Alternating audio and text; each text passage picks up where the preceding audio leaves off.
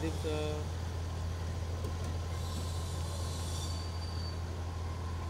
sir hello hi sir how are you how are gangster sir रुक जाइए पुणे वाज good Pune वाज गुड सर आप पे बात कर लो सर रुकिए सर यहाँ पे विजुअल कर दे विजुअल विजुअल रुक जाइए सर रुकिए यहाँ पर सर यहाँ पर पे यहाँ पे। थैंक यू सर आपको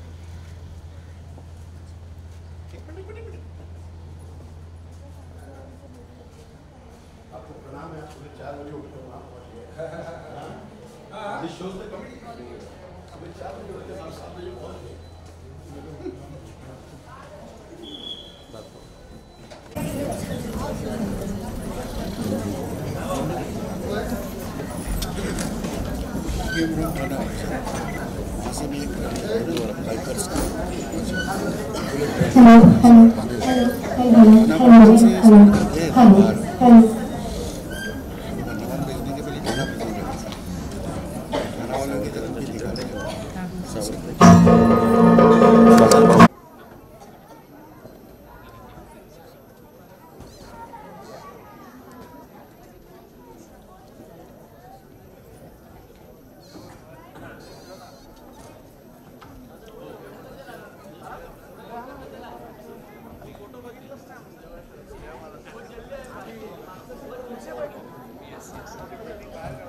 सर्व मान्यवर मंडळी मंचावरती उपस्थित आहेत. लगोलगच आपण सगळ्यांचं स्वागत इथे करून घेऊ. सगळ्यांना विनंती आपण स्थानापन्न व्हायचे बसून घ्यायचे.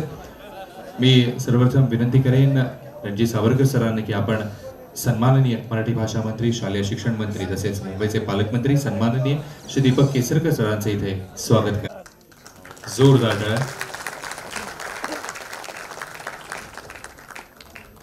तसेच मी विनंती करेन मंजिरी मराठीजींना की आपण सन्माननीय खासदार श्री राहुल शेवाळे साहेबांचे इथे स्वागत करायचं आहे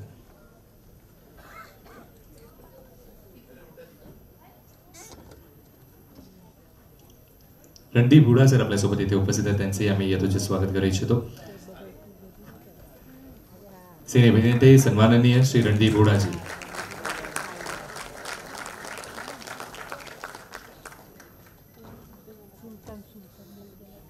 तसेच खासदार सन्माननीय श्री राहुल शेवाळे साहेब.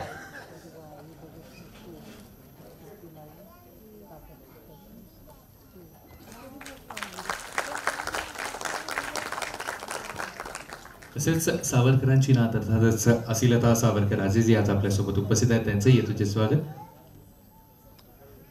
मी श्री दीपक केसरकर सरांना विनंती करेन आपण त्यांचं येतुचे स्वागत करायचं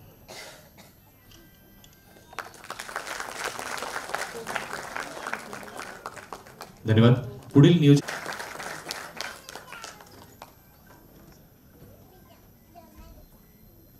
आदरणीय रणजित सावरकरजी आदरणीय राहुलजी शेवाळे आदरणीय रणजित जिवडा साहेब आदरणीय सावरकर मॅडम आणि सर्वच स्टेजवरचे आणि स्टेज समोरचे मान्यवर. खरं तर मी दौऱ्यावर होतो आणि असा ना उजाळा देण्याचा प्रसंग असतो. आणि रणजितजी ज्या प्रकारे तुम्ही ही लढाई पुढे चालू ठेवलेली आहे ती विचारांची लढाई आहे. आणि नेहमी कुठल्याही कार्यक्रमाला ज्याला मला इथं येता येतं त्याच्यातून प्रेरणा घेऊनच माझ्यासारखे सर्व या ठिकाणी आपल्यामध्ये सहभागी व्हायची इच्छा होती. रणजितजी हुडासाहेबांनी स्वातंत्र्यवीरांचं त्या ठिकाणी खरं एखादं चित्र आपल्यासमोर उभं करण्याचा प्रयत्न केला आहे त्यांचंसुद्धा मनापासून कौतुक करतो. या चांगल्या कार्यक्रमामध्ये खरं तर आदरणीय मुख्यमंत्री महोदय सहभागी होणार होते. परंतु काही कामानिमित्त त्यांना बाहेर जावं लागल्यामुळे त्यांचा निरोप आला की हा महत्त्वाचा कार्यक्रम आहे आणि महाराष्ट्र शासनाचं प्रतिनिधित्व तिथं असलं पाहिजे. आणि म्हणून आमचे मुख्यमंत्री उपमुख्य शैलेंद्र चिखलकर साहेब प्लीज आपणाला ही विनंती आपण मंचावरती यायचंय. मगाशी त्यांनी आवर्जून सगळ्यांची नावं सांगितली पण स्वतःचं नाव मात्र नमूद त्यांनी केलं नाही. पण आम्ही आवर्जून त्यांचं नाव इथे नमूद करत आहोत. आपलं मनपूर्वक स्वागत आहे.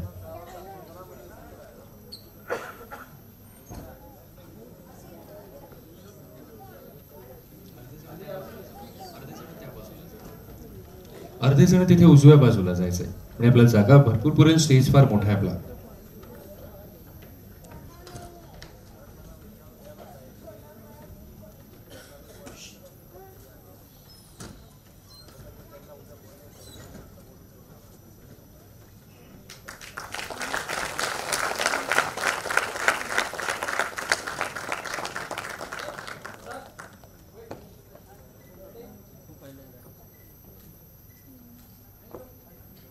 स्वातंत्र्यवीर सावरकरांचा. भारत माता की.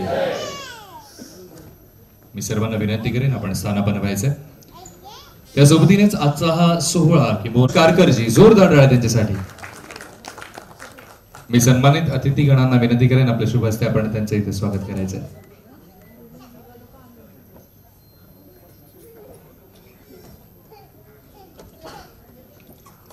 संतोष कारकरजी.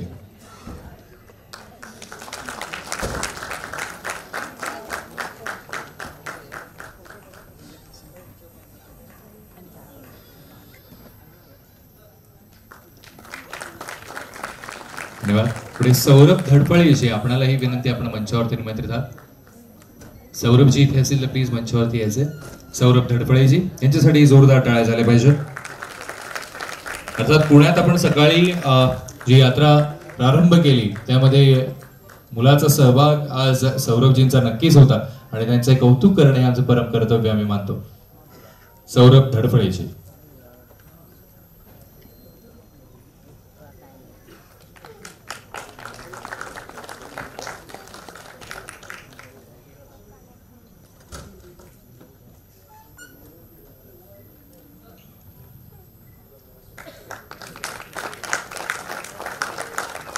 विशेष उल्लेख करावा असं वाटते अजून एका व्यक्तिमत्वाचा ते म्हणजे आशिष जोशीजी. नाहीयेत? पण नक्कीच त्यांचंही कौतुक आजच्या सोहळ्यात त्यांचाही खूप मोलाचा सहभाग होता. सचिन बोधनीजी आपण जर इथे असाल तर प्लीज मंचावरती यायचंय. सचिनजीनी फार आवर्जून सकाळी जोर जोरात आपल्या आवाजात घोषणा देत होत्या आणि सगळ्यांना असं जागा करत होत्या. अख्खं पुण्याला जागा करण्याचं काम त्यांनी त्यांच्या आवाजाने सकाळी नक्कीच केलेलं आहे. असे सचिन बोधानीजी आपल्यासोबत इथे उपस्थित आहेत. त्यांचंही आपण इथे कौतुक करूया. टाळ्या जोरदार. सचिन बोधानीजीचं आहे.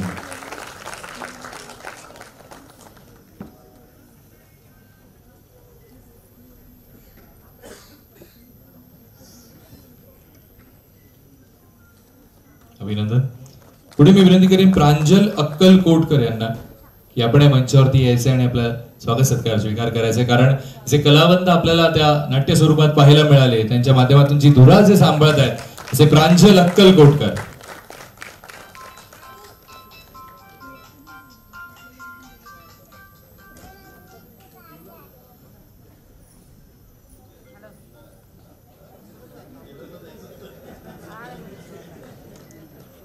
एका ज्वेलरने आज सकाळी सावरकरांची ती स्मृती आमच्या हाती दिली.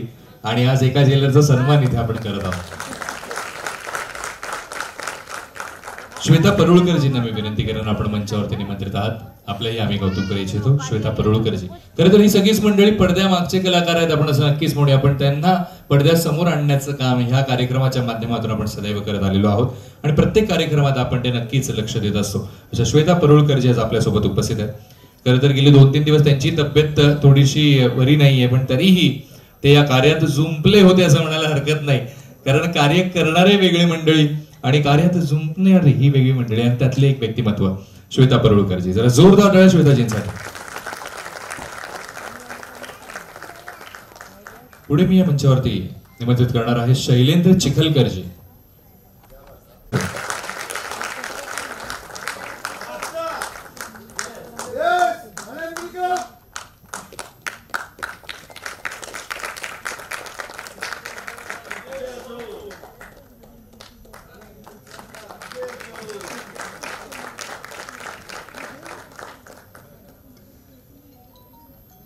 आणि अर्थातच आता एका टीमला मी या मंचावरती बोलवणार आहे. त्यांचं विशेष सहकार्य ज्यांचं लाभलेलं आहे ते म्हणजेच आपल्या या स्मारकाच्या ते कमी पडू देऊ नका जरा जोरदार टाळ्या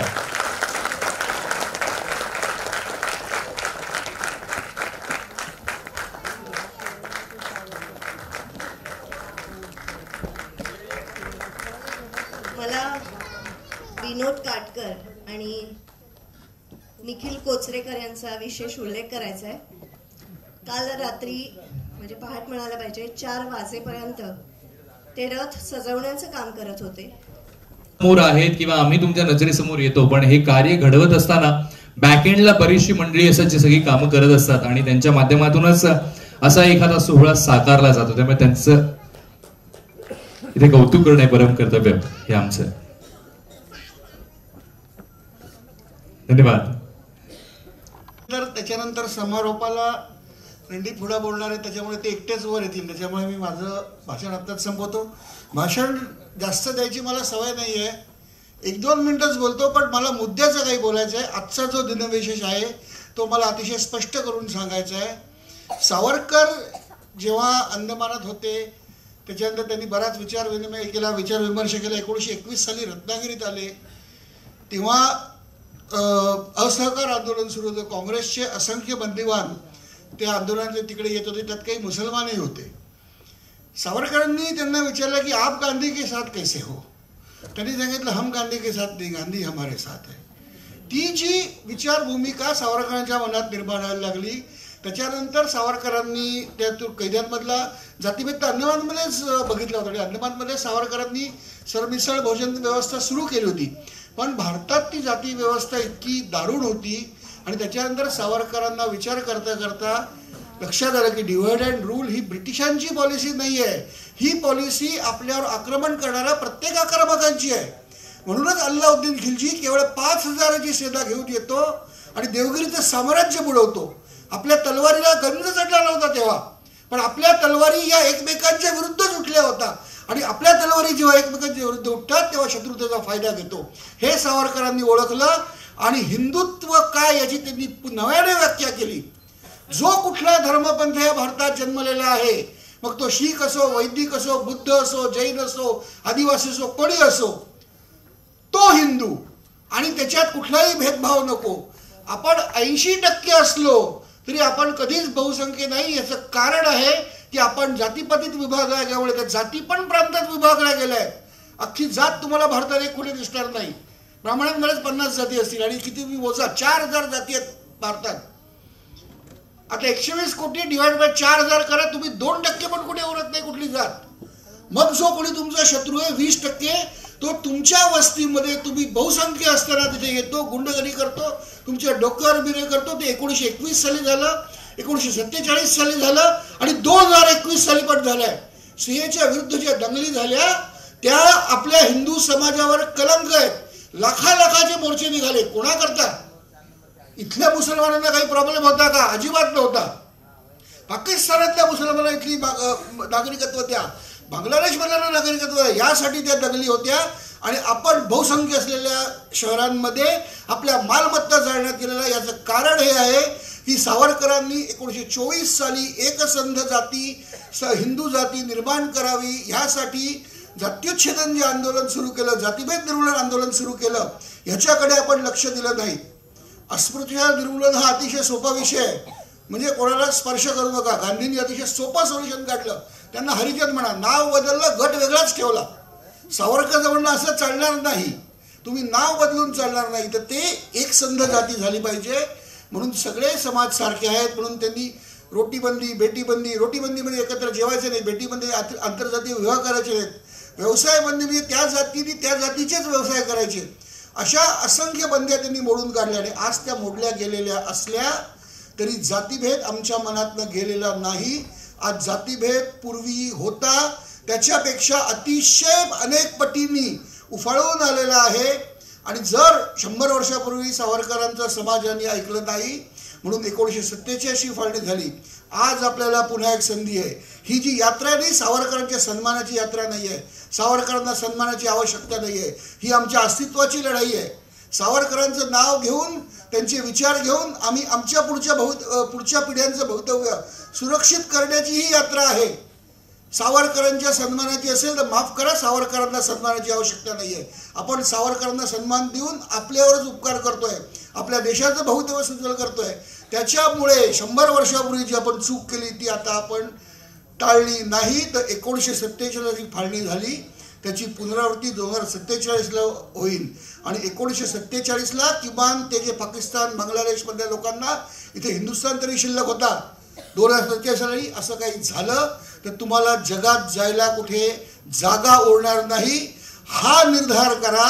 आणि त्याप्रमाणे एक संघ हिंदू समाज म्हणून म्हणजे जो देशाचा नेता आहे जो आपल्या प्रदेशाचा नेता आहे तो आमच्या हिंदू हिताचा विचार करणारा हवा एवढीच भावना बळाशिवाय का? आरक्षण वगैरे काही होत राहील हो.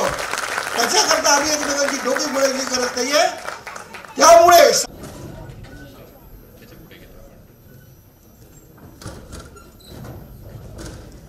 तसंच आम्ही या शब्दसुमनांनी पुढे विशेष कौतुक करू इच्छितो. हिंदुस्तान पोस्टची सपोर्ट टीम दिनेश भात्रे, सतीश गरुड आणि सूरज काटेजी यांनी सुद्धा या यात्रेसाठी अतुनात अशी मेहनत घेतलेली जरा जोरदार टाळ्या आपण वाजवूया.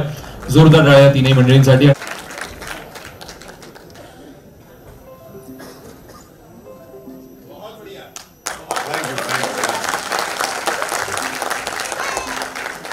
दो साल से जब जब से सावरकर जी मेरी ज़िंदगी में आए हैं, मैं काला पानी में ही हूँ। आज उनको निकले सौ साल हो गए, मैं आशा करता हूँ कि आप तक मेरा ये काम पहुँचे और और पूरे देश को, दुनिया को इनकी असली कहानी, सावरकर जी की असली कहानी पता चले। उनके बारे में ना जाने क्या क्या लोग कहते हैं, मैं तो अब तो सुन के हंस पड़ता हूँ। पर उनकी गलती नहीं है। जब ये पिक्चर मैंने करनी शुरू नहीं की थी तो मुझे भी उनके बारे में ज़्यादा नॉलेज नहीं थी। और ये इसलिए है क्योंकि ज़्यादातर अगर आप हिस्ट्री की किताबें पढ़ो तो किसी भी किताब में सशस्त्र क्रांति या उस सोच वाले लोगों को सिर्फ़ दो पैराग्राफ में मेंशन करके बाकी सभी, पूरी आज़ादी की लड़ाई दो ही और दो तीन और लोगों ने ही लड़ी थी और किसी ने कुछ नहीं किया। अचंभित था, मैं भी अचंभित था मैं ऐसा क्या इतना किया इन्होंने? और एक अभी बैठे बैठे मुझे ध्यान आ रहा था कि मेरा थिएटर का करियर भी इसी ऑडिटोरियम से शुरू हुआ था बॉम्बे में, और तब मुझे नहीं पता था। नहीं पता था मुझे, और ये मेरी गलती है, या मेरे को सिखाने वालों की गलती है। और उनके बारे में मैं क्या बोलूँ, सबने सब कुछ बोल ही दिया है, काफ़ी अच्छे तरीके से, और मराठी में। पर मेरे तो जो उनके बारे में पढ़ा है कि हिंदुस्तान की जो जोड़ने की एक आइडियोलॉजी थी वो किसी और के पास नहीं थी, जो हिंदुत्व की आइडियोलॉजी जो उन्होंने लिखी थी काला पानी के बाद, जब खिलाफत मूवमेंट हो हो चुकी थी, मोपला का वायलेंस हो चुका था, उसके बाद जो उन्होंने लिखा था तो उन्होंने यही लिखा था कि हिंदुत्व एक भूगोलिक, राजनीतिक, सांस्कृतिक इतिहास है। ये किसी धर्म का नहीं है। जो हिंद को अपना माने, वो हिंदू है। मुझे याद है, मैं काफ़ी साल पहले ऑस्ट्रेलिया में पढ़ता था और बाहर जाता था किसी देश में तो सब कॉन्टिनेंट के सब लोगों को हम लोग को हिंदू बोलते थे। हे, हिंदू, चाहे किसी भी धर्म या जाति के हो तो उनका मैसेज यही था, उनका मैसेज जो हमारे को एक करने का था, जातिवाद से, हर चीज़ से ऊपर उठ के एक दूसरे को एक ह्यूमन की तरह जो रिकग्नाइज करने का था वो मैसेज आज हमें सबसे ज़्यादा ज़रूरी है और मैं चाहता हूँ कि ये मैसेज ज़्यादा से ज़्यादा लोगों तक पहुँचे और आप लोग की सपोर्ट रही तो ज़रूर पहुंचेगा। वंदे मातरम।